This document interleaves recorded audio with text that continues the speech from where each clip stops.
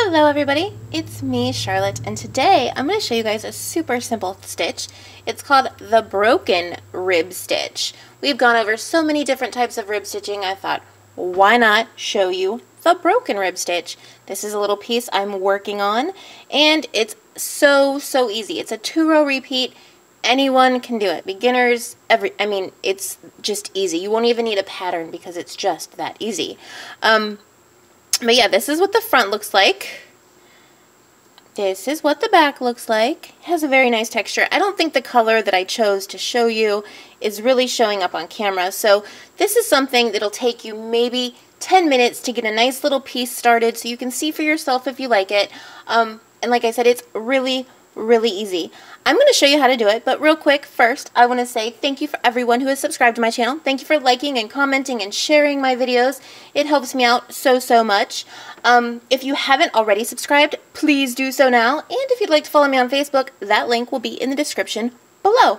All right, now I'm going to show you guys how to knit this broken rib stitch. Like I said, super, super easy.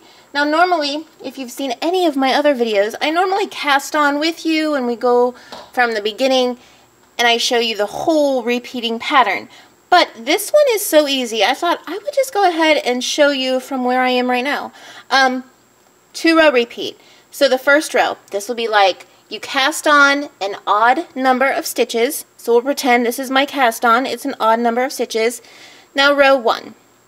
All you do for row one is knit all stitches. Now, like I said, I was working on a little sample just to show you a finished piece in the beginning of the video. Um, but it's so easy, I thought, why not just show you where I am right now and we'll just knit this little sample piece together. Okay, so row one, well first you cast on your odd number of stitches, and then row one is just knit all stitches. And I think I have cast on like 23 stitches. I don't know. I was trying to make a nice little size sample piece so you guys could see it very well. So it might take me a little while to get to the end here. Okay, so row one was knit all stitches. Row two, which will be the wrong side of the work, is going to be, are you guys ready for this? It's really easy. It's knit one, purl one. Yep, that's it. knit one, purl one, all the way across. And if you are absolutely brand new and you do not know what a purl stitch is, because there are some out there that have no clue, a purl stitch is just where you take your working yarn, you bring it up front, you insert your right needle in the front of that stitch on your left needle. So you just insert it, you take your working yarn, you wrap it around that right needle counterclockwise, and you pull up that stitch. That's a purl stitch.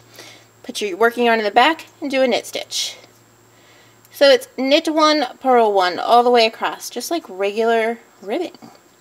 The only difference is, is on the next row, which will be row one again, because it's only a two row repeat, it's going to be knit all the stitches. And that's it. It's that simple, guys, and I really encourage you to try it out. It'll only take a few minutes to get a nice little piece going, and you can see if you like it for yourself. Um, that's really all there is, guys. You cast on an odd number of stitches. You knit, row one is knit the whole row. Row two is knit one, purl one until the end of the row. And you will end with a knit stitch on row two. So, finishing up row two now. And that's it. Turn your work and then you start over. Row one, row two, back and forth. And this is what you get. Like I said, I don't think the color of yarn I used really shows up the detail of the stitch or the pattern, but it is a very nice stitch. It would be nice for washcloth, dishcloth, a scarf. You could do a whole scarf in a nice chunky yarn, I think, and I'm using ridiculously long circulars. I don't know why.